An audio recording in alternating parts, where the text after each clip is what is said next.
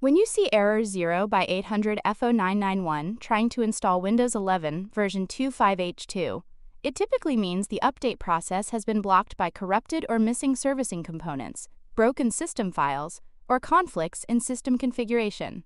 The most frequent root issues are damaged component stores, outdated servicing dependencies, or cached update data that's gone bad. Here are the solutions for this